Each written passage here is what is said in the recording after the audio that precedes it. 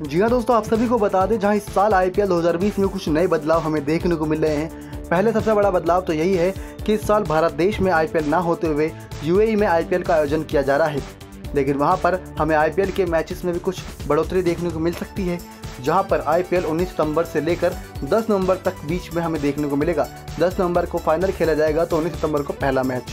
लेकिन दोस्तों, आप सभी को बता दें, जहाँ कुछ दिनों पहले बड़ी खबर ये सामने आई थी कि वीवो ने आईपीएल 2020 को स्पॉन्सर करना सही नहीं समझा है, क्योंकि जहाँ पर चीन और भारत के बीच बड़े सीमा विवाद को लेकर वीवो ने अपने कदम पीछे कर लिए थे तो वहीं आईपीएल की बीसीसीआई ने नए स्पॉन्सर की तलाश शुरू कर दी है। बीसीसीआई ने आईपीएल के नए स्पॉन्सर की बिट्स में हिस्सा लेने वाले ब्रांड के लिए एक मापदंड तैयार किया है, यानी कि एक ऐसा मापदंड तैयार किया गया है जिसके अंदर कुछ तहत बातें रखी जाएँगी, जिसके बाद ही स्पॉन्सर उन लिस्ट के आएँगे जो कि इसमें बिड्स लगा पाएँगे। बता दें, जिस कंपनी का सालाना टर्नओवर 300 करोड़ से कम नहीं होना चाहिए, इसी वजह से इससे कम टर्नओवर वाली कंपनियों को टेंडर भरने के लिए योग्य नहीं माना जाएगा। बीसीसीआई को वीवो से हर साल आईपीएल के टाइटल के प्रायोजक, यानी स्पॉन्सर के रूप में 440 करोड़ रुपए मिलते थे। इस साल ये देखना होगा कि कौन सी कंपनी प्रायोजक बनती है, यानी स्पॉन्सर बनती है। हालाँकि बीसीसीआई ने यह भी साफ़ किया है कि सबसे ज़्यादा रुपए की बिड लगाने वाली कंपनी को ही स्पॉन्सर बनाना ज़रूरी नहीं है।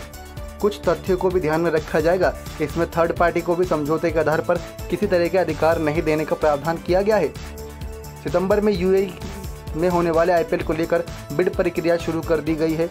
18 अगस्त इसके लिए अंतिम तारीख रखी गई है। इस दिन नए स्पॉन्सर के बारे में पता चल जाएगा। स्पॉन्सर अधिकारी भी उस दिन उस ब्रांड को मिल जाएँगे। रेवेन्यू शेयर समझौते के तहत बीसीसीआई टाइटल स्पॉन्सर से मिली पूरी राशि अपने पास नहीं रख सकती। इसका 50 फ़ीसदी टीमों के पास जाएगा, बाकी बची हुई राशि बीसीसीआई को मिलती है। 25 करोड़ सालाना हर टीम को पहले ही मिलते थे। इस साल ये राशि कितनी होती है, ये देखने वाली बात होगी। इस साल मिलने वाली राशि बिट्स और स्पोर्ट स्पॉन्सर के चयन पर ही निर्भर करेगी। आगामी कुछ दिनों में स्थिति पूरी तरह साफ़ हो जाएगी कि आईपीएल का नया सीज़न सीज़न सितंबर में यूई में खेला जाएगा, लेकिन इसका स्पॉन्सर कौन होगा?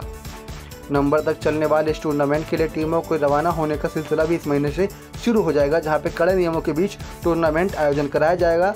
सभी का हेल्थ का काफ़ी खास ध्यान रखा जाएगा। खिलाड़ियों को दो संयुक्त अरब अमीरात के लिए निकलने से पहले, यानी कि खिलाड़ियों को संयुक्त अरब अमीरात के निकलने से पहले दो बार कोरोना टेस्ट करवाना अनिवार्य होगा। इसके अलावा यूएई में काफ़ी कड़े नियम होंगे। हेल्थ को लेकर, आपकी फिटनेस को लेकर और आईपीएल से एक महीने पहले आपकी प्रैक्टिस शुरू कर दी जाएगी ऐसा खिलाड़ियों के लिए कुछ प्रावधान जारी किए गए हैं। लेकिन कौन सी वो कंपनी होती है या फिर वो इंडिया की कंपनी होती है या फिर कोई विदेश की जो इस आईपीएल को स्पॉन्सर करेगी?